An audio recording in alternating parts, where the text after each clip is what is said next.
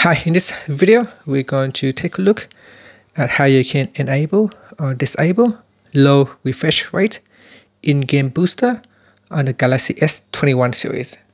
First, tap on the home key to go back to your home screen, and then we're going to swipe up to go into the app screen. In here, open up the game that you want to play, and once you are in the game, tap on this game booster icon and then you want to tap on the settings button. And in here tap on low refresh rate. So if during the game you suddenly feel that the refresh rate on the screen is too low maybe because you have accidentally switched it on it should be switched off by default. You can go in here and turn it off.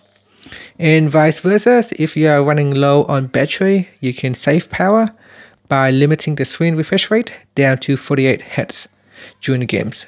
And that's it and finally, you can tap on the back key to go back to your games or tap on the home key to go back to your home screen. Thank you for watching this video.